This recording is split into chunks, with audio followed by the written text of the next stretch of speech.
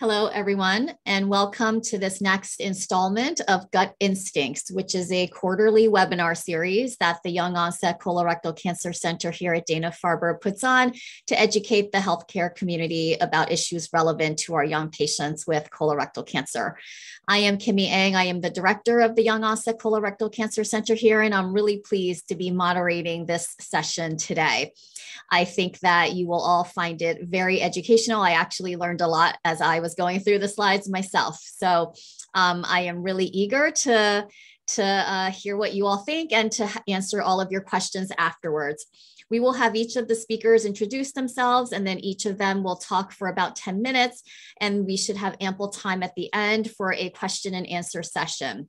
Please use the Q&A function to type in your questions as you think of them and we will address them at the end. So without further ado, I'd like the speakers to each just give a brief introduction as to their name and their role here at uh, Dana-Farber. So we'll start with uh, Dr. Yurgelun. Hi, my name is Matt Yurgelun. I'm a GI oncologist um, here at Dana-Farber. So, and I see and treat um, people with a variety of, uh, of, GI cancers. I also work in our genetics group um, as the director of our Lynch Syndrome Center, um, where I um, oversee uh, the, the workup and the treatment and management of people with, with Lynch syndrome and other forms of inherited GI cancer risk. Thank you and welcome. Hi, I'm Anu Chittenden. I'm a genetic counselor, a senior genetic counselor and lead genetic counselor for the Lynch Syndrome Center at Dana-Farber, and uh, have been working in cancer genetics for more than 20 years. Welcome. Hi, and I'm Ramona Lim. I am a gastroenterologist um, at the Brigham um, and Women's Hospital, as well as um, working in cancer genetics in our Dana-Farber Lynch Syndrome Center. Um, and I, I, have a, a special uh, interest in um, our endoscopic management as well of many of our patients with hereditary cancer syndromes, including Lynch syndrome and other polyposis syndromes. Hi, everyone. I'm Rich Barberino. I'm going to be representing the uh, voice of the patient um, as it relates to colorectal cancer and uh, genetic um, uh, genetic disposition. Uh, I'm a computer engineer, so uh, I'm going to come from a, a, layman point of view. Thank you all so much for being here. And uh, without further ado, uh, Matt, why don't we get started? Great. So, um, so I'm going to start with just some a, a bit of an overview on some concepts related to assessing for inherited cancer risk, um, and th then Anu will get into I think some of the more nitty gritty about uh, details of genetic counseling and genetic testing, and um, and Ramona will talk some about uh, some of the management um, pieces relevant for our patients with inherited cancer risk. So um, next slide. These are just my financial disclosures. Next. So brief outline, I'll start off talking a little bit about multi-gene panel testing for inherited cancer risk, um, which is still a relatively new phenomenon as far as how we, um, how we actually work up people um, who are seeing us for, for potential uh, genetic testing just give um, after that some basics on hereditary colorectal cancer and then a, a, hopefully a few kind of take home points about who to test and how to test. Um, so next slide. So I, I contrast um, the notion of syndrome specific genetic testing with multi-gene panel testing. Syndrome specific genetic testing is how we've done genetic evaluation really for, um, for the most, the majority of the time that genetic testing has been a thing. Um, you know, and that refers to the phenomenon in which individuals who meet specific criteria for a specific syndrome get genetic testing really for that syndrome. Um, for example, in the old days, we would do Lynch syndrome genetic testing for people who had a colorectal cancer that was mismatch repair deficient and or MSI high. We would do genetic testing for the APC and MUTYH genes if somebody had multiple colon adenomas. Um, but as I'm sure people are familiar with, in, in, the recent years, there's this phenomenon now of multi-gene panel testing, which utilizes next generation germline sequencing, where really you can perform germline testing of dozens and really even hundreds of genes in parallel. Um, there's a number of different commercial labs that offer this testing. Um, depending on the lab, there can be organ specific panels where you can order a colorectal cancer panel or a breast cancer panel. And increasingly, a lot of the labs are offering pan cancer panels, kind of the, the quote unquote test everything approach. Um, a lot of new genes are constantly being added to these panels. And for better and maybe for worse, the more you look, the more you find. Um, so, next slide. Um, so, a couple of pieces that I want to point out though genetic testing rarely gives a black and white yes or no answer to the question of does this person have inherited cancer risk you know, a quote unquote positive test, the finding of a pathogenic or a likely pathogenic germline variant or mutation doesn't guarantee the development of cancer. Um, and oftentimes the, the magnitude, the spectrum of cancer risk associated with a given gene might be uncertain, especially as more and more genes are added to these panels. Oftentimes they're genes we don't understand very well. Sometimes we're finding mutations in genes that have nothing to do with why we sent this person in for testing in the first place, especially with these larger panels. On the flip side, negative results don't necessarily mean that there's no cancer risk. Sometimes we're testing somebody who clearly has a high risk family history, we find nothing. That doesn't mean that they're off the hook for, from increased screening and increased risk. Maybe we tested the wrong genes. Maybe we tested the wrong person in a family that that does have inherited risk, or maybe it's risk that we just don't fully understand yet, um, and where there might still be the need for high risk screening, even with um, unrevealing genetic results. And then I think the most uh, prominent um, example of this is variants of uncertain significance, or what we call VUSs. Uh, next slide. Um, so I won't go through this in too much detail because I know Anu is going to cover it, but these essentially represent germline genetic variants where the effect on the gene function and therefore the effect on cancer risk is unknown. These are hugely common. We find them in at least 30% of people getting multi-gene panel testing, maybe more like 40% with some of the larger panels. Um, and I know Anu will talk a little bit about um, just how we think about the classification and reclassification of these, but it's important to kind of dig a little bit deep on some of these, especially if there's concern that it might actually account for the family history, um, and to look at how different labs might classify an individual variant. At the same time, though, I would say that there is significant concern about over-treating patients based on these uninformative results. Next slide. This is just from, um, from the lay press um, from a handful of years ago, um, you know, where uh, essentially a case of somebody who underwent risk-reducing surgery, mastectomy, um, hysterectomy, simply because somebody didn't really know the difference between a variant of uncertain significance and a true harmful pathogenic variant. So the interpretation here really is, is key, and that's where we rely a lot on our genetic counseling colleagues in cases that are a bit ambiguous. Next.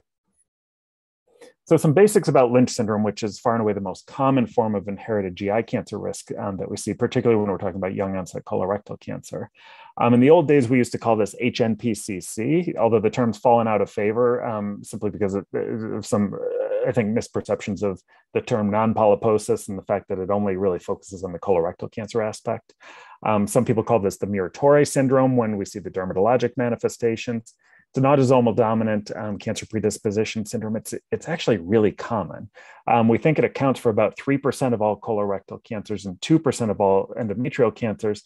And some high quality data have estimated that the population, that the prevalence in the general population may be as high as one in 279, which means that there's more than a million people in the US by these estimates that have Lynch syndrome, the overwhelming majority of whom are undiagnosed. Next.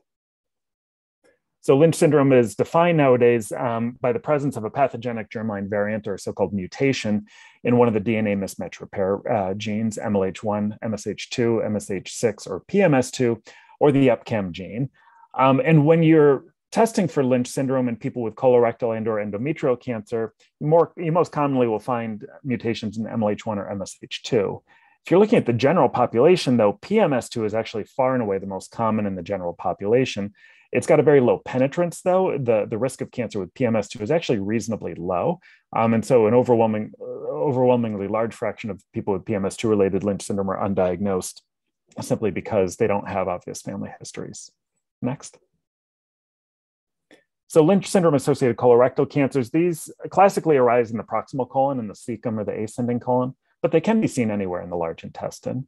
Um, their histology is usually pretty ugly. You expect to see often poorly differentiated high grade histology, sometimes medullary features, signet ring cell histology, mucinous histology. In spite of the ugly histology, though, they tend to have better prognoses stage for stage um, than their sporadic counterparts. Um, these have classically been described as having a quote unquote Crohn's like reaction with tumor infiltrating lymphocytes, which probably is a tip off to why these cancers respond so well to immune checkpoint inhibitors.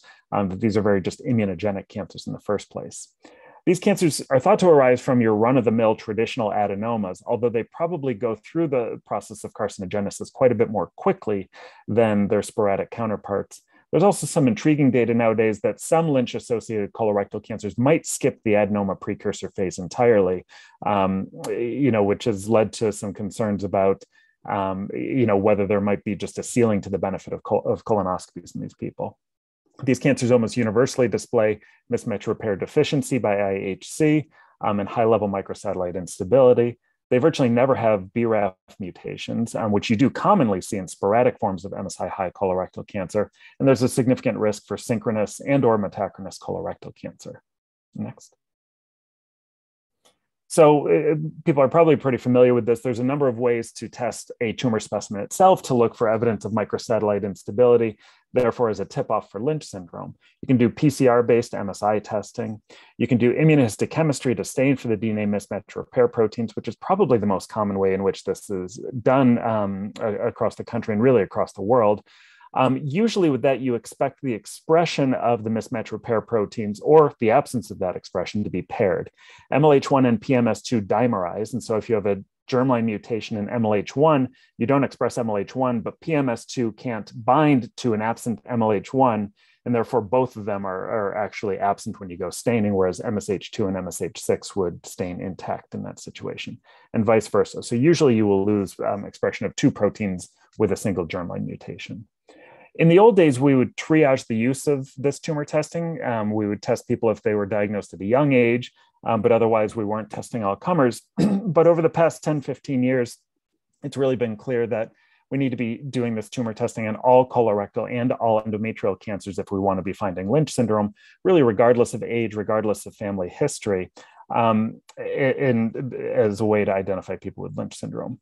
And so uh, nowadays, for anybody who has a tumor that's mismatch repair deficient and or MSI high, um, we recommend germline testing unless there's an obvious sporadic explanation for that mismatch repair deficient status. Next.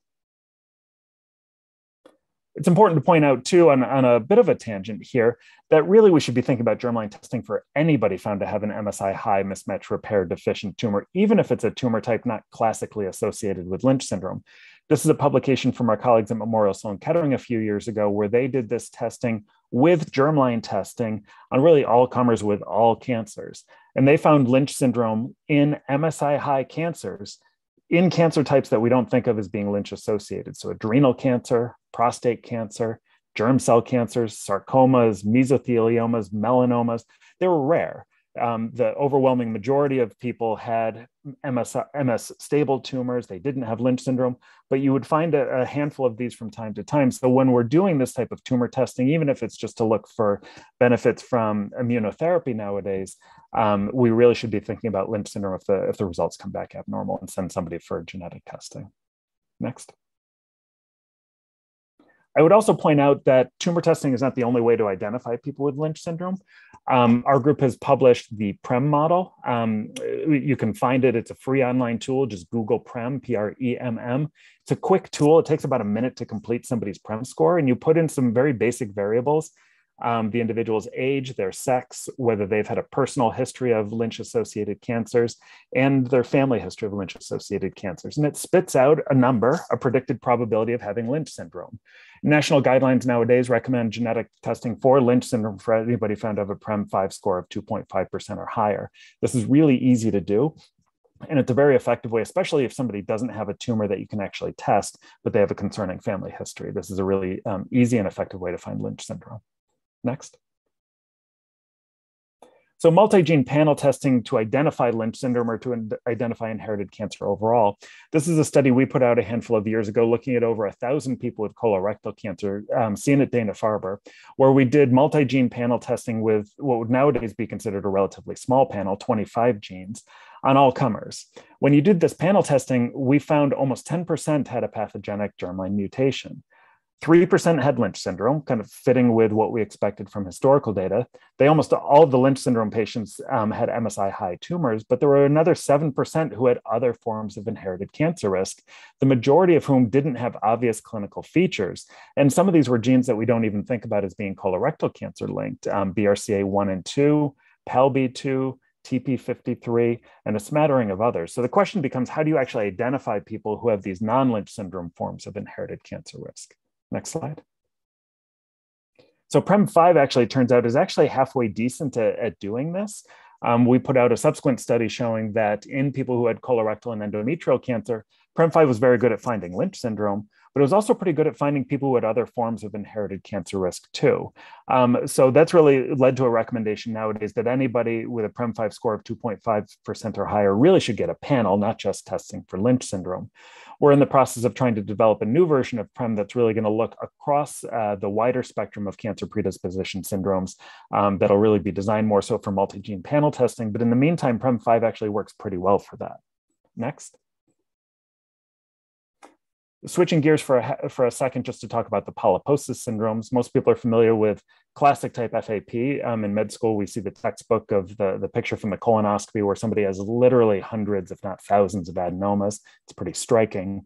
Um, classic type FAP is, is almost always caused by a germline APC mutation, typically manifests pretty early in life in the second or third decade, with high risks of manifestations outside the colon as well, including desmoid tumors, most commonly in the abdomen, fundic gland polyps of the stomach, adenomas and cancers of the duodenum and the, the ampulla vater, um, and thyroid neoplasia. You can also have attenuated forms of FAP, what we call it attenuated FAP, some, but not all of whom have germline APC mutations. These usually, this usually manifests dozens of adenomas, sometimes a pretty subtle, um, uh, pretty subtle phenotype, and you, you much less frequently see the extracolonic manifestations. Next.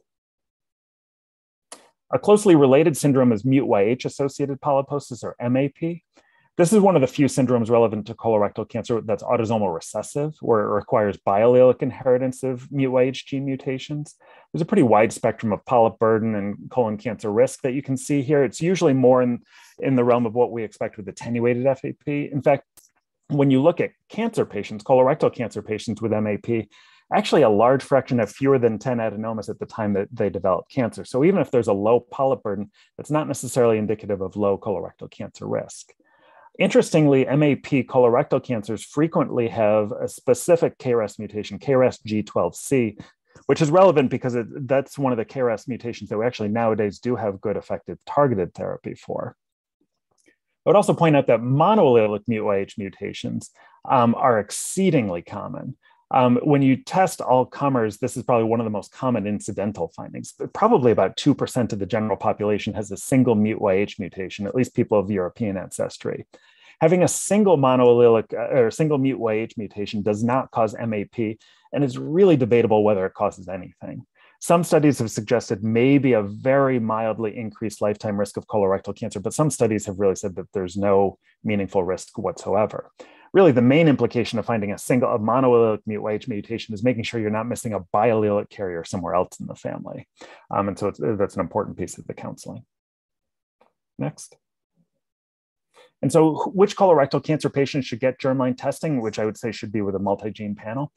I would say all individuals diagnosed at age 50 or younger, anybody with a mismatch repair deficient and or MSI high cancer, unless that's really conclusively explained by somatic causes such as the presence of a BRAF mutation. I would say anybody with a PREMM5 score of 2.5% or higher, anybody with 10 or more lifetime adenomas, and click next.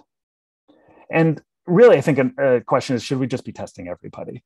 In fact, coincidentally, um, the NCCN guidelines for colorectal cancer genetic testing were just updated today, where nowadays there are starting today, there's a recommendation in there to consider germline genetic testing for all people diagnosed with colorectal cancer, even those who are over age 50 who don't have any of these risk factors. I would say it's controversial, but it is now at least in the guidelines to consider that. Um, next. Um, and I would just highlight that uh, just last week, uh, myself and my colleague Heather Hampel from City of Hope put out um, a perspective piece just looking at the pros and cons of really testing all comers with GI cancers. Um, so if it's a question you're interested in, um, give it a read. It was a fun piece to put together, but I think there's upsides and there's downsides really to, to doing this. So we need to think through it pretty carefully. Um, click next. And then this is just a graphical breakdown. Um, in the middle there, you can see the colorectal cancer studies. Um, the color, the different colors really just kind of represent the, the spectrum of the different genes and syndromes you expect to see if you test all comers, um, whether it's colorectal cancer or other types of GI cancers. Um, so with that, I think I'll hand it over to Anu to talk about uh, genetic testing. Hi, everyone. Um, So I have no disclosures. Next slide. Thank you. Uh, so I wanted to speak a little bit about genetic counseling for inherited cancer uh, risk. And Dr. Yurgelun has brought up several issues that I'm going to be talking in more depth about. But you know, as you may or may not know, genetic counseling involves the assessment of personal and family history of cancer, and then helping patients consider genetic testing and its risks, benefits, and limitations. Not everyone has access to or needs to meet with a genetic counselor. And in fact, at Dana Farber, we have a process that we call our rapid access genetic testing process, where oncology patients can uh, have genetic testing done the same day by watching a short video, meeting with one of our genetic testing coordinators, and then if they're comfortable with the information going forward with genetic testing. Next slide, please. So when we think about the risks, benefits, and limitations, you know, starting out with the risks, we know that there are psychosocial issues surrounding genetic testing that go beyond the diagnosis of cancer itself. Patients may learn about additional cancer risks when they're in the middle of their treatment or trying to make treatment decisions. They may learn about risk to family members, and this may cause strain in their relationships with family members or also feelings of guilt because they are worried about having passed on something. We try to emphasize with patients that we don't have control over gene mutations that we inherit or pass on, but it sometimes it can be difficult for patients to kind of reconcile that. And then, of course, inconclusive or uncertain results, as Dr. Yurgelun had pointed out, in a family where there's a strong family history of cancer, if you have a negative test result, that can be uh, confusing and sometimes disappointing. And then the issue of variants of uncertain significance is uh, large with us because we do know that up to 40% of people will get an uncertain result. And that can, again, cause some frustration for patients. And then the most common question that we get here in the States about, insur- about testing is about cost and insurance issues. Next slide, please. So we know that the benefits of testing include the idea that this could be useful for cancer treatment options for patients. It could also explain their diagnosis um, and because patients often wonder why they developed cancer. And it can help them be proactive about additional cancer risk or give information to family members so that they can be proactive for their own risk.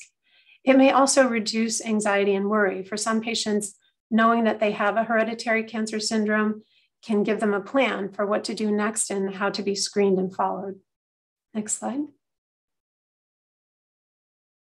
And the limitations of testing, as again, Dr. Yurgelun had pointed out, testing is not 100% sensitive. There's no single technology that is perfect in detecting mutations in these genes. NGS is very good, but it's still not perfect. It can't detect these rare intronic, deep intronic variants, um, effects from other genes that are far away from the gene that you're looking at. And we know that genetic testing improves over time. So what you're looking at is really a snapshot for the day, but it's not necessarily what's going to be uh, the be all end all of testing. And then the variants of uncertain significance that we get may not be reclassified in a timely manner or at all. I've definitely had patients that I've met with over 20 years ago who've had variants that have still not been reclassified. And as Dr. Yurgelun had pointed out as well, there are really no absolutes in cancer risk. Even if you have a hereditary cancer predisposition syndrome, there's not 100% risk to get a cancer or uh, a second cancer. And conversely, cancer risk is present for all of us, even with negative results. So we have to use the family history and personal history as a guide. Next slide. So going through some of the more common questions when we talk about risk benefits and limitations, cost of testing is probably the number one question that we get. Uh, here in the States, most of the major labs have reduced the cost of testing to about $250. So that is doable for most patients. There are still some patients for whom that's not going to be doable. And most of the labs do have uh, financial need guidelines and programs that can be used in that situation. However, the cost to insurance is about you know, 1,500 to $6,000. So it's a big difference in, in the cost. And I think some of the things that we address with patients is that sometimes, you know, patients will say to us, my insurance company will cover this. Um, the problem is they may have a co-insurance or there may be additional costs, even if insurance covers it, and it may turn out to be that the self-pay price is less than having it go through their insurance. And we're finding more and more that insurance coverage for multi-gene panels is limited they're trying to ask us to justify every gene on the panel, which is not practical for us. Um, so it's something that definitely we probably need to be better advocates for in terms of trying to make sure that insurers do cover this type of testing. Next slide, please. And then discrimination and I would say privacy concerns as well. We know that the Affordable Care Act protects cancer patients with access to health insurance. And GINA, which is the Genetic Information Non Discrimination Act, protects unaffected patients from discrimination uh, in health insurance and employment. These two links below are give you more information about uh, this GINA Act. And then there, there's also a state database of legislation. So different states have enacted legislation to try to address things like life insurance, long-term care, long-term disability. In Massachusetts, there is a state law addressing discrimination for these types of insurances, but unfortunately, because it is a state law, it doesn't have the same weight as a federal law would. So we don't know how good the state law will be at actually protecting people against those types of discrimination. Next slide, please.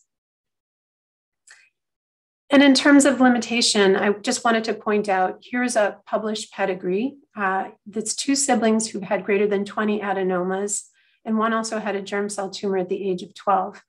This uh, family was negative for a multi gene panel. Next slide, please.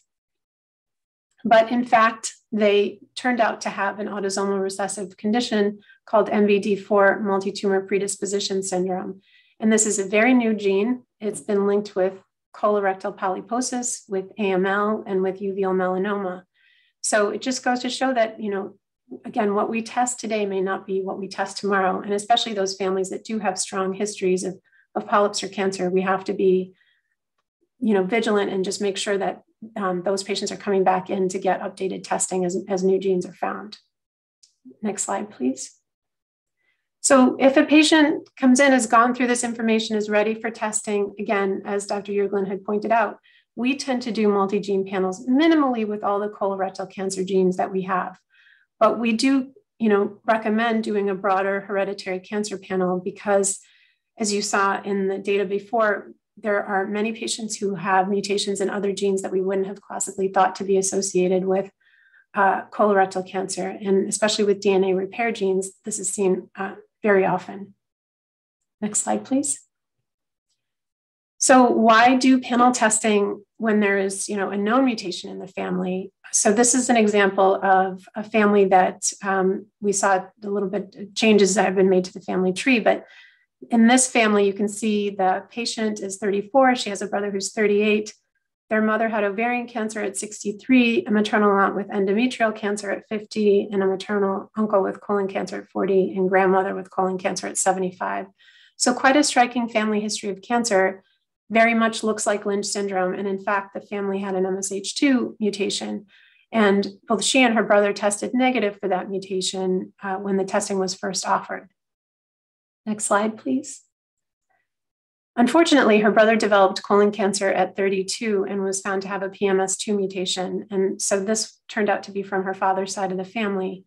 So I think one of the important things that we counsel patients about is that there is bilineal risk, which is why we try to take a complete family history. But even in that sense, the family history changes over time, and second mutations are not that uncommon. So in our experience, 1% to 2% of patients will be found to have a second mutation in the family. Not all of them are high risk mutations, but they are relatively common uh, when we do look.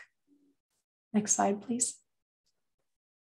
So, this is, as Dr. Yurgelun had said, sort of the most straightforward situation. You suspect that someone has Lynch syndrome, they do the genetic testing, they come back with a pathogenic or likely pathogenic mutation in a Lynch syndrome gene.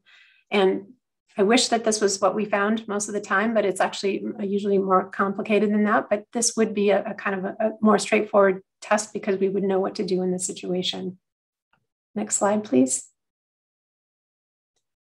Second type of test result that we see is um, a positive result for an incidental or secondary finding. And so in this situation, you can see that the patient was found to have an ATM mutation.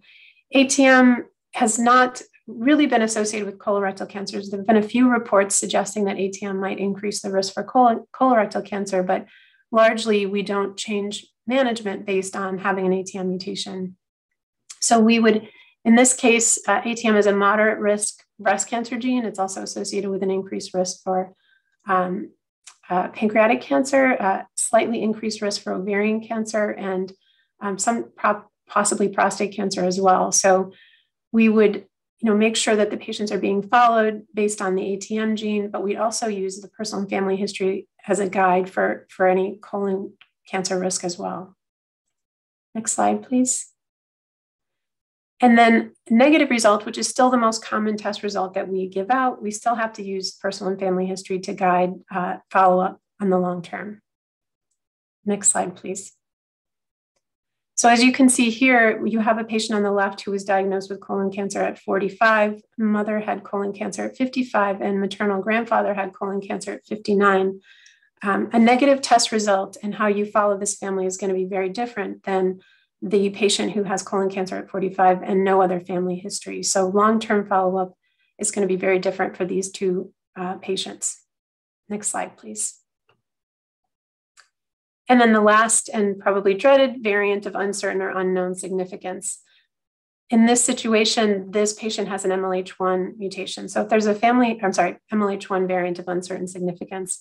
So we want to really try to do our due diligence on this and make sure that there isn't a concern about this particular variant. But if we determine that this is a true variant of uncertain significance, then we would essentially still use personal and family history to guide care for this family.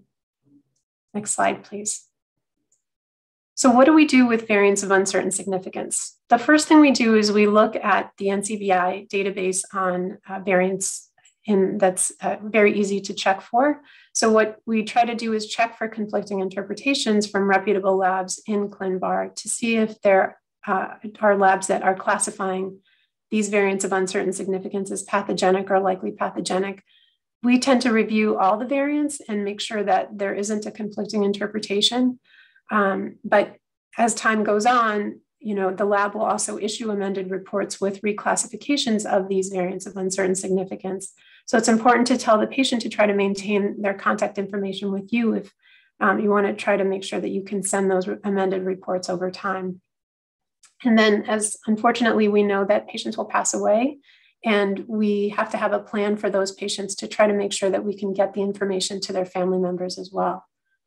And then sometimes additional follow-up is helpful for variants of uncertain significance. If you have a variant of uncertain significance in the splicing region, an RNA analysis might help to clarify the variant and help to reclassify it.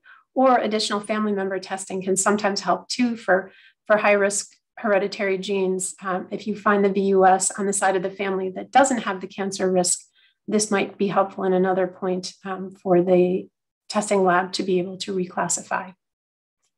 Next slide, please. And so just to think about, you know, what we do for follow-up in families, the first thing I wanted to mention was partner testing. So if a patient is found to have a Lynch syndrome gene, let's just say an MSH6 mutation, we always recommend partner testing if they're of childbearing age um, because we want to make sure that their partner doesn't have a mutation in the same gene.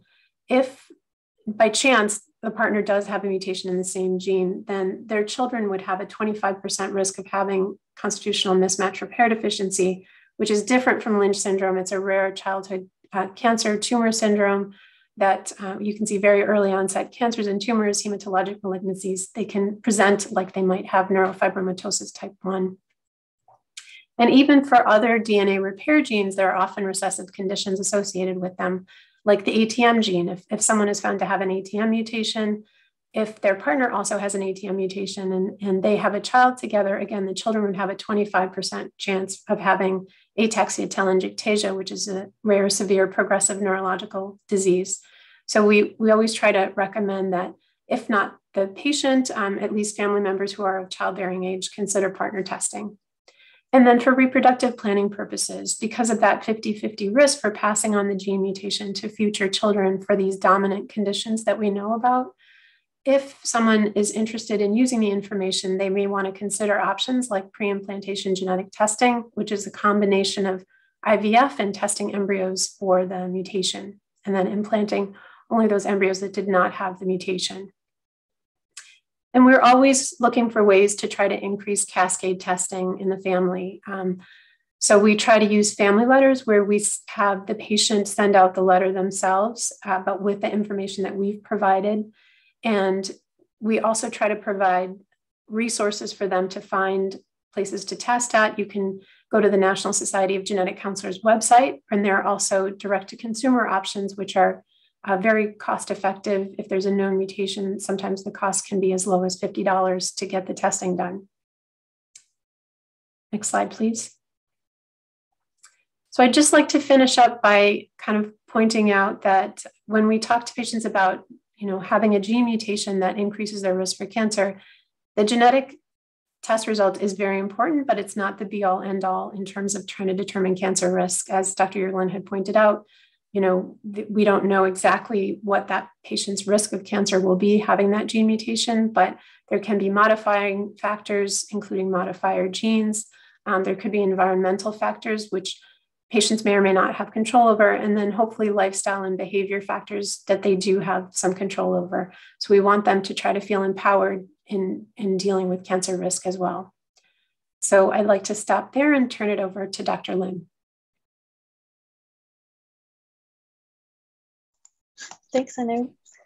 And today I'll be talking about best, practices and surveillance um, for hereditary colorectal cancer and young onset um, colon cancers. Next slide, I have no disclosures. And we will be talking uh, about surveillance guidelines um, in our hereditary cancer syndromes that, that Matt and Anu have both touched upon um, in, in their talks. We'll talk about how there are specific perioperative, postoperative considerations for these syndromes, um, as well as some of the extraintestinal manifestations that we take into account in management. Next slide. And the reason why we want to recognize hereditary colorectal cancer is it may really alter one surgical approach at the time of their diagnosis. Um, there may be an increased risk of metachronous colorectal cancers, as well as extracolonic tumors, as well as the increased risk of cancer to family members. Next slide. And as Matt had alluded to, we talked about how Lynch syndrome typically more subtle in, sen- in the sense that we um, present with a non-polyposis phenotype. So we don't expect to see many, many polyps. It, that's opposed to our polyposis syndromes, where with the attenuated FAP um, and even MAP, which tends to fall into that attenuated or oligopolyposis range of polyp burden. And then the classic FAP that we all know and recognize and is very obvious because it's sort of what we were uh, accustomed to learning about polyposis as uh, in, in medical school. Next slide. And it changes quite a bit because the cancer surveillance after diagnosis is quite different. Our standard surveillance after a colorectal cancer and resection may be to do a colonoscopy at one year repeating it sooner if the baseline colonoscopy at the time of the, the diagnosis was incomplete from, for example, an obstructing tumor, then a colonoscopy should be repeated in three to six months. And thereafter, if these are negative, the intervals suggest that we can increase the, the surveillance intervals to three years and five years thereafter for our standard surveillance. But that's very different with our hereditary colorectal cancers because after that first year, we continue to follow um, closely in terms of endoscopic surveillance, depending on if they've had a, a, a partial colectomy or even a, a more extensive risk reducing surgery with lower GI surveillance, typically in the one to two year interval per guidelines of that specific syndrome. Next slide, please. And so Matt touched upon the fact that, you know, Lynch syndrome, autosomal dominant, with um, anything that we would want to think about in terms of individuals that, that are presenting with young onset um, colorectal cancer. But with the idea that there are many other um, extracolonic tumors, particularly endometrial and other GI tract cancers, um, gynecological cancers, um, that the, uh, an individual with Lynch syndrome may be predisposed to. And it'll be important because some of these individuals certainly have a known family history for us to suspect this, um, but others may be the first individual in their family um, to, to have a, a Lynch diagnosis. And therefore, that may help us really make management decisions quite differently upfront at the time that they're diagnosed. Next slide, please. So part of the reason why it's critical to ascertain um, and, and consider pursuing genetic testing early at the time of diagnosis may be that there may be a question of whether or not um, approaching it with a standard approach of a segmental resection, like a right hemicolectomy or a sigmoidectomy, would be advisable versus a risk reducing colectomy because of the risk of future cancers. Um, I think that there's always going to be individual considerations as well, depending on individuals um, in terms of reproductive risk, as well as their even baseline bowel habits, um, and, and, and whether or not someone has diarrhea versus constipation may sway them one way or the other, um, or, or if they've had um, a, a, prior history of radiation for um, an endometrial cancer. Those are all um, considerations um, when going into surgery uh, for, the, for a new diagnosis. And certainly, if appropriate, concomitant timing along with a risk reducing hysterectomy with or without uh, oophorectomy at the time of their cancer diagnosis may make sense. Um, so it's certainly important to have a conversation upfront about whether or not that's timing is appropriate after um, a colorectal cancer or even after a diagnosis of Lynch without a cancer diagnosis. We know that it's important that we recognize that right-sided lesions can predominate and that the typical adenomas can look quite atypical as well, can be flat, subtle, and even depressed, um, and highlighting the importance of regular follow-up with the intensive surveillance because of the fact that there is that um, accelerated adenoma to carcinoma sequence. Um, it really highlights the importance of us doing a really good high quality colonoscopy examination, including repeating the examination with a better prep um, if there's anything suboptimal about the visualization. And very rarely, um, you know, risk reducing colectomy can, can sometimes be, be considered as a management option, even without a diagnosis of cancer. Next slide, please. And so our um, surveillance guidelines um, uh, include col colonoscopy um, every one to two years, um, beginning at age 20 to 25. Most recent updated NCCN guidelines had even added starting a little bit later um, at age 30 for PMS2. Um, and we happen to be one of the programs that really advocates sticking at an annual schedule for the colonoscopy. Upper endoscopy is performed every three to five years um, with a baseline assessment for other modifiable risk factor of H. pylori infection, which can be treated um, in terms of a gastric cancer risk, or looking to see if they have intestinal metaplasia at the time and looking to see if um, any type of endoscopic surveillance and ongoing biopsies would be useful during the, um, during the evaluations. Um, and then discussing the, the possibility of other screenings, including endometrial and ovarian uh, cancer screening, the, the discussion of prophylactic um, TAH-BSO, um, as well as dermatologic evaluations. There are other extraintestinal um, risks such as pancreas, um, urinary tract, and even small bowel cancers that can separately be screened for, um, uh, but, but are not universally uh, recommended for all individuals with Lynch syndrome, depending on the specific gene mutation, as well as family history considerations. Next slide, please. In FAP, this this is exactly um, you know as, as Matt had mentioned uh, you know a, a, polyposis individual where it's very classic you know hundreds of thousands carpeting the colon um, with where the penetrance is near complete. And in these individuals without colonoscopy or without uh, without colectomy um, the the estimated lifetime risk of colorectal cancer is 100% in classic. Um, and therefore most individuals at some point will require um, a, a risk reducing colectomy. And hopefully it's before they have cancer. Um, and, and we ascertain that information from family history and genetic testing.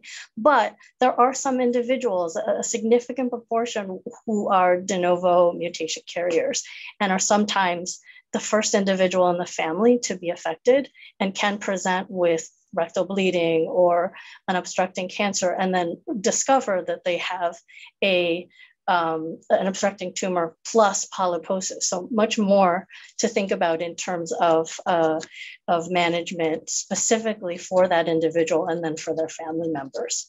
Next slide, please.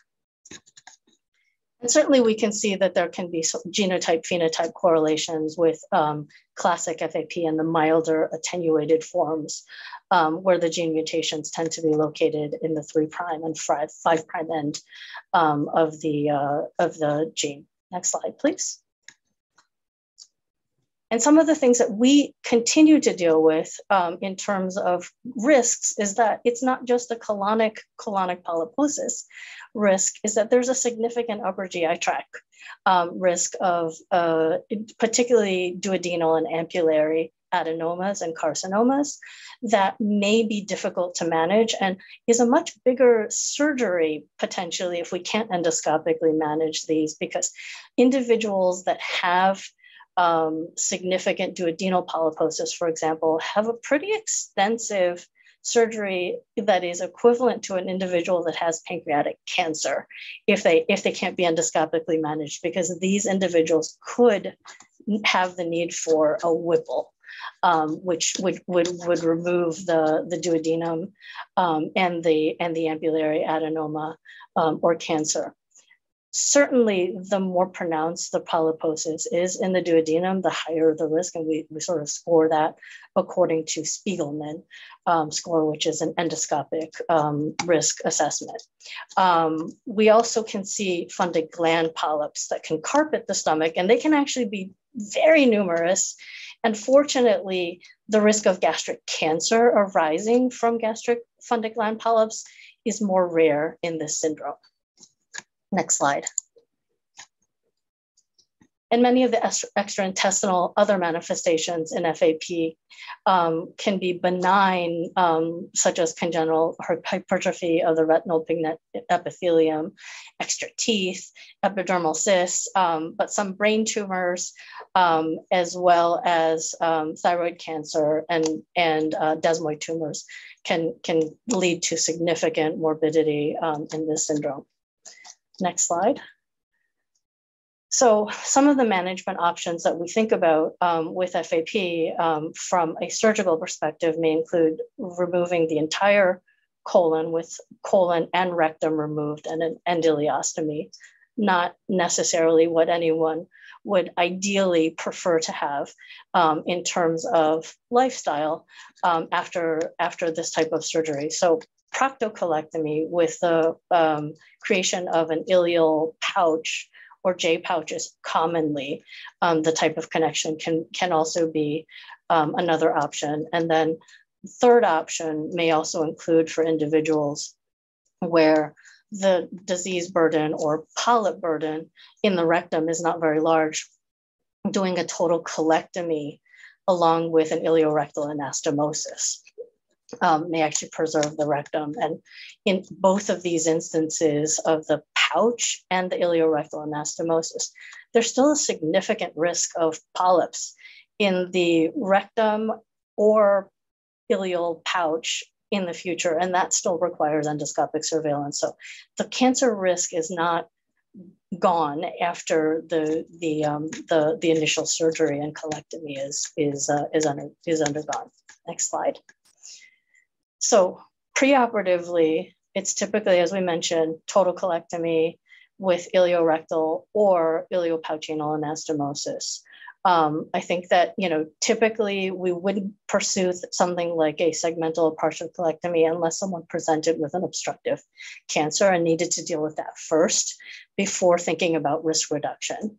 Um, it may be important to consider um, if there's significant upper GI tract polyposis at the time. Um, probably wouldn't worry about it as much if it was a cancer surgery that we were undergoing from a from a col- colorectal standpoint. But if this was more for risk reduction, that may be something very appropriate to time, um, because that that that may be actually be significantly worse. Um, in this case, risk reducing colectomy is quite common. Um, but as I mentioned, lower and upper GI tract, this surveillance is still warranted post op. Next slide. And typically, um, we, we may start colon cancer screening for individuals at age 10 to 15 um, with colonoscopy and then pouchoscopy or flexible sigmoidoscopy after. Um, upper endoscopic surveillance depends on the burden of polyps in the duodenum or stomach um, and consideration for thyroid cancer screening and intra-abdominal desmoids. Next slide. And with attenuated FAP, when these are due to um, a, a, a, pathogenic variant um, in APC, we can still see a significant lifetime risk of colorectal cancer but at later ages. And the screening um, tends to tend to be a little bit later. We also know that the extracolonic risk can be similar to FAP, but, but again, less common. Next slide. Our considerations would also be similar to FAP in the sense that we would consider segmental versus partial colectomy as appropriate for um, a cancer diagnosis um, versus a more extensive surgery to address not only the cancer, but the future cancer risk due to polyposis burden.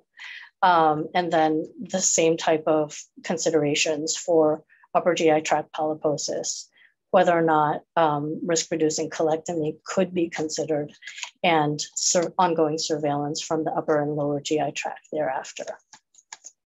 Next slide. And these are quite similar, um, but, but um, we, we start a little bit later um, for individuals who have had um, a family history uh, with uh, attenuated polyposis. Next slide. With MUTYH associated polyposis, um, this also um, tends to present with a more attenuated polyposis phenotype. Um, and we have extracolonic manifestations that can sometimes mirror and be quite similar to the um, attenuated FAP risk. And colonoscopies are beginning at age 20 to 25 to 30. Next slide. We repeat them every one to two years, again, depending on polyp burden and follow up surveillance with pouchoscopy or, or, flexible sigmoidoscopy if they've had a colectomy. Um, and similar recommendations for upper endoscopy and thyroid cancer screening to be considered um, with individuals that that um, that carry uh, a a biallelic MUTYH. Next slide. And even other considerations that are helpful um, to to consider when we have individuals who are undergoing surgery for addressing cancer or risk reduction, it's important to uh, ensure that that they're that the uh, the surgeries um, still still allow them to have access uh, to endoscopic evaluation for other cancers. Um, I think one of the more common things that we often see is that there are more people that are undergoing bariatric surgery electively, um, and therefore um, those individuals um, can often uh, be be counseled to to consider a, a more um, limited sleeve gastrectomy over something like Roux-en-Y gastric bypass, where you would leave a, a large portion of an ex- the excluded stomach um, or duodenum difficult to access endoscopically for, for ongoing surveillance.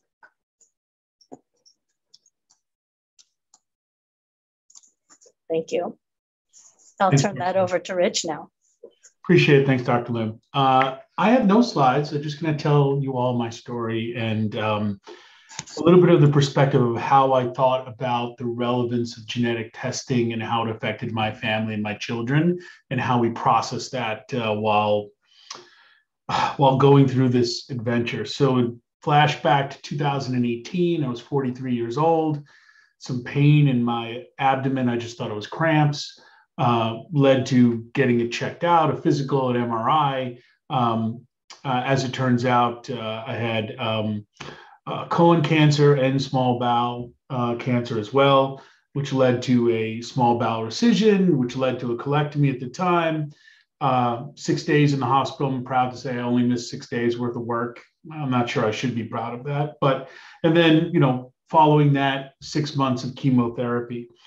Uh, you know, port installed, all of that. So as I was my first month of chemotherapy, I was introduced to Dr. Yurgelun.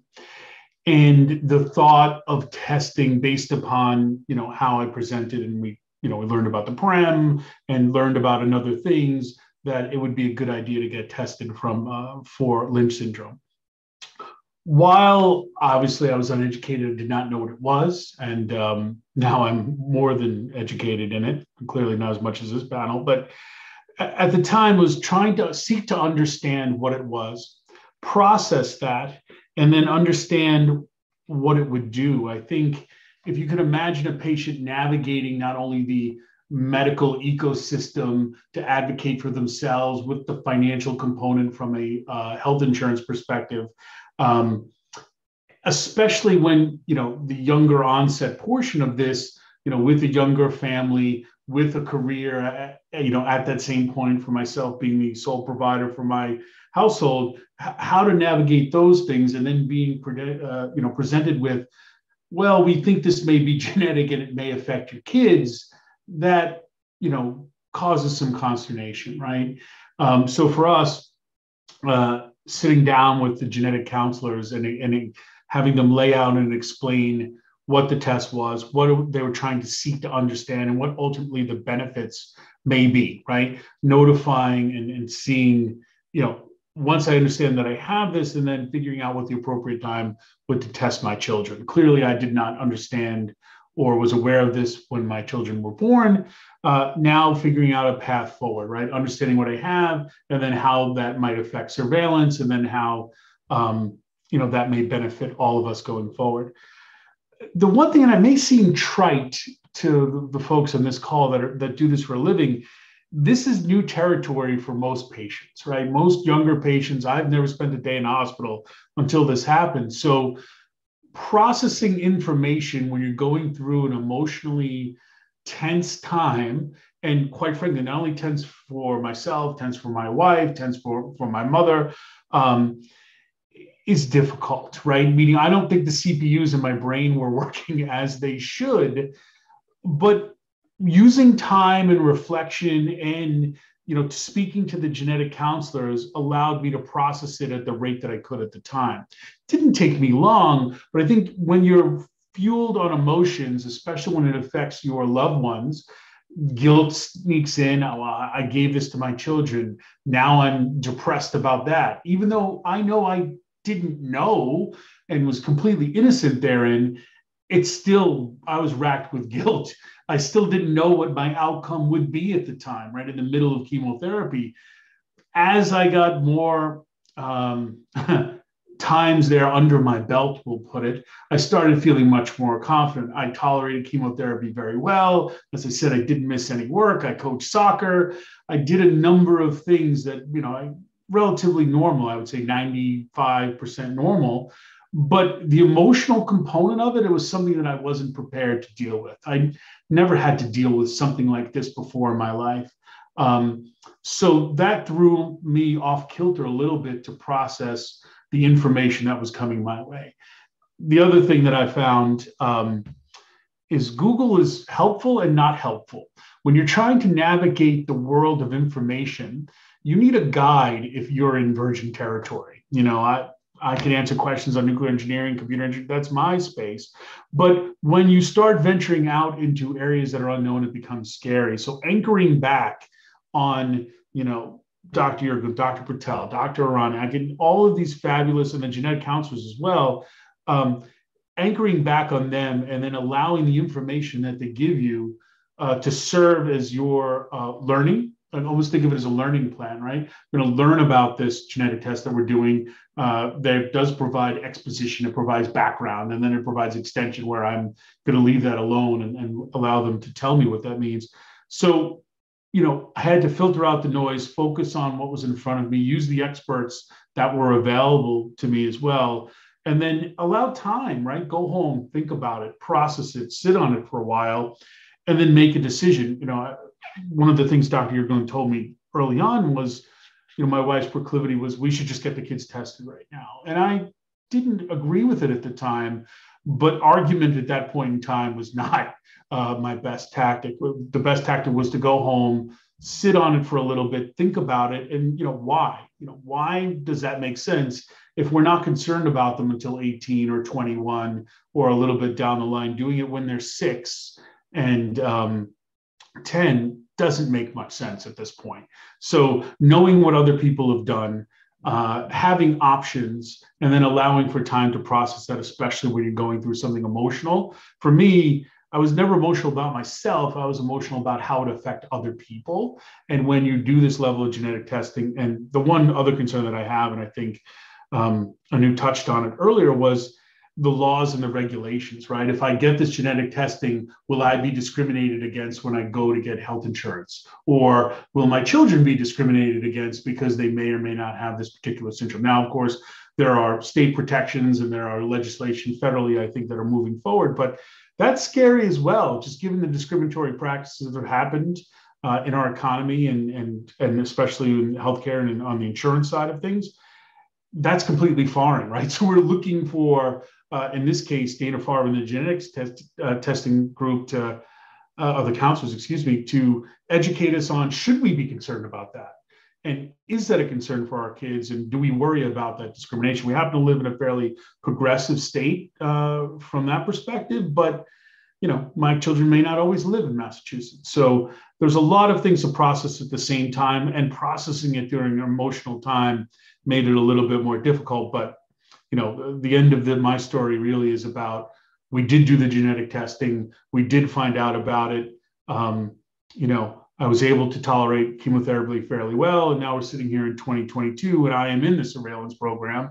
And knowing that that surveillance program has been tailored based on the information that's come back not only gives me peace of mind, but gives my wife peace of mind, but also we know that when the time comes a couple years down the line, we'll have my children tested. And God, you know, God forbid if they do have the same uh, issue, if they have Lynch syndrome, then we will get them in a surveillance program. And the advances in modern technology over the next 20 years or 30 years, um, to me, is just going to be exponential. So, you know, there is hope there, and there is um, peace of mind, at least from a patient's perspective, to know that okay, we've got the outcome we wanted. We're in the surveillance program that uh, is best aligned to my particulars and also will be best aligned to my children's particulars going forward.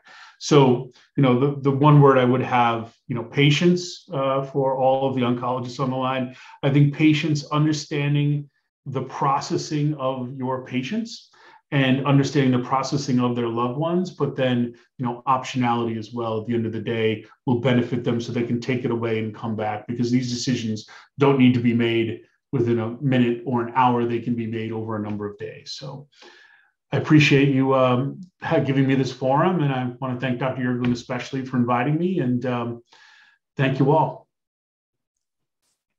Thank you so much. You know, I, you know, for sharing that story. I think you beautifully summarized not only the medical and health impact of this diagnosis on you and your family, but just all the other human aspects of, of what this does and um, and how you have to process it. So thank you. Um, thank you to all the other panelists too. It was extremely informative um, and educational. So I know we're a little bit past the hour, but uh, you know maybe we have just a few extra minutes for those who want to stay on for one question for each panelist. And this will be recorded and placed on our website for those of you who do have to drop off. You can always come back and uh, watch it later. So uh, maybe I'll, I'll start with you, Rich, since you just um, finished sharing your story. Um, you know, clearly it's important to know about family history and um, the, the types of surveillance that then have to be done to try to prevent cancer in uh, both you and your other family members. But some of these conversations are, are difficult to have. Do you have advice for other patients out there on how to bring up sometimes these subjects and talking about some symptoms that are maybe not comfortable to talk about um, in finding out your family history? That's an excellent question. Uh, family history sometimes can be known or can be completely unknown right or or it's known but no one is saying uh, and and you have to dig into it a little bit i found it to be tougher with my mother if i have to be honest i think um, older generation you know uh, baby boomer generation not that i want to paint her that way but born in 1940 um, was a difficult conversation because they just did not talk about those things mm-hmm. um, but once I I, you know, I sat her down and, and, and, and I leveled with her and I said, Mom, this is important because it will help me. When I came from that perspective, I, I still can't get her to stop talking at this point. Uh, the stories just started to flow out about uncles and aunts and, and, and my grandmother who went through colon cancer in, in, in the early 1970s. I wasn't born until 1974. So clearly did not know this or remember this but I had not heard this story previously. So while it was known to certain people in the family, it wasn't known to folks who, you know, came along a little bit later and, you know, perhaps 70s and the 80s. So it was really sitting my mother down and explaining how it could help me. And I know it's uncomfortable, mom, and I know you don't like talking about this, but I, I need you to help me. And, you know, I think that's the that's the tact that I would almost guarantee that any mother couldn't refuse. Mm-hmm. That's a great approach. Thank you. Um, and maybe Anu, I'll, I'll go to you next uh, because Rich brought this up as well. You know, so many of our patients present at a young age and do have young children. How do you go about thinking about when to do germline genetic testing on children? Yeah, that's a, that's a great question. Um, it's really variable depending on what the syndrome is, what the gene is. Um, you know, even within Lynch syndrome, we have genes that have sort of different presentations, different risks. Um, so usually with some of the genes, we recommend starting at a pretty young age. So as Dr. Lim was talking about with FAP, you may be testing children when they're 10 for this, or sometimes even younger if you're talking about trying to do hepatoblastoma screening in them. But typically, we recommend starting, if it's not that t- classic FAP, we recommend starting later when they are adults. Um, and people often ask us to when, when, how should we talk to our kids about this? When should we start talking about this? And I think um, it's important. Uh, what we've heard from a lot of children who've gone through this and as they've become adults is that it's important to have like an open dialogue with them. You obviously you're not going to share something with a really young child about cancer risk, but you know, they may have questions about why you go to the doctor. And it, it might be a time to kind of open that window to, to talk about, you know, very rudimentary things. And then as they get older, start talking more about what this mean, might mean for them as well. And so um, I think it's just important to try to, to frame it and show that you're there to answer questions for them. That's great. Thank you. And then maybe I'll go to Ramona next. Um, you very, you know, nicely outlined the surveillance uh, recommendations for the various syndromes to look for various cancers and you know we're, we're, lucky here that we have the lynch syndrome here at the lynch syndrome center here at dana-farber to help oversee that. But many places um, other cancer centers and community centers don't necessarily have this in place. How well are these guidelines being followed in the community? And are are you working on efforts along with other colleagues in the genetics division here to better disseminate what the best recommendations are for cancer surveillance Yes, thank you, Kimmie. Um, I, I, think if anything, it, it can be overwhelming. Mm-hmm. Um, you know, uh, certainly there are, we're lucky to have lots of great, um, you know, pr- practitioners throughout our state. Um, you know, our, our gastroenterologists, oncology colleagues, um, you know, where, where there are lots of individuals where the guidelines are, are, are, strictly being adhered, but it can be challenging to keep up with those guidelines. And therefore, yes, I think um, we, we've been trying to help, you know, try, trying to help um, uh, disseminate information by having webinars such as this um, and, and, other, and other outreach um, where we have uh, uh, provider conferences and our patient conferences as well annually um, that can help that can help and and we also um, certainly help to um, evaluate individuals to help their local providers um, as, as uh, putting together Lynch syndrome care plans. Mm-hmm. That's great. And it's so important. Um, and then the last question is for Matt. Um, you know, you mentioned that not every carrier, for example, for Lynch syndrome will go on to develop cancer, and then they only go on to develop certain types of cancers if they do develop um, a cancer diagnosis. What research is going on to help better personalize um, surveillance strategies and also better understand who is at risk of what particular cancer? Yeah, it's a great question. And I think we're really just scratching the surface of it. Um, we know that across the five different Lynch syndrome genes, there's pretty drastically different risks gene to gene to gene. Um, and that's something we've really only appreciated in the past few years. Uh, you know, just a few years ago, it was kind of a one size fits all. You had Lynch syndrome. You, we kind of didn't look at which gene all that closely. It was just everybody got screened for everything. And I think nowadays we can be a lot more sophisticated about looking at things like the specific gene, like somebody's sex, like their family history, and starting to tailor some of these screening and surveillance programs based on risk factors that we know about. But there's still a lot we don't know. Um, I'm sure things like diet, lifestyle, exercise play in, but it's probably well above and beyond that too. And so the, there's a lot that we're doing in the Lynch Syndrome Center here and that other um, researchers are doing really around the world to look at things like the microbiome in, in the stool and in the colon and how that factors into risk diet lifestyle and exercise other genetic factors immune factors. Um, and i think there's a whole lot more to come that will help us better understand an individual person's own lynch syndrome risk profile. Um, so it, it's a really exciting time but um, but we've got a long ways to go to to to get there. Thank you so I think that brings us to the end of our webinar. Thank you again to all the panelists for your expertise and your time, and especially Rich for sharing your story. And uh, again, this is being recorded. So if anyone wants to come back and watch again, this will be posted on our website soon. Thank you all so much for attending.